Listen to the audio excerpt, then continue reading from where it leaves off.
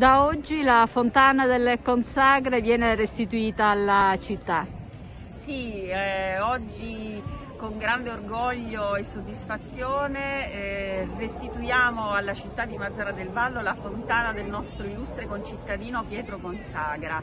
E dopo vent'anni di silenzio finalmente la fontana ha ripreso a zampillare. Eh, siamo davvero orgogliosi che il nostro percorso di valorizzazione dell'arte e della cultura a Mazzara del Vallo sia iniziata proprio da quest'opera. Una inaugurazione divisa in due momenti.